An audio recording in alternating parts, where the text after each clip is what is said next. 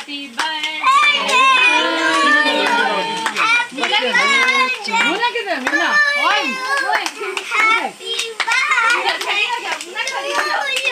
खड़ी हो खड़ी हो।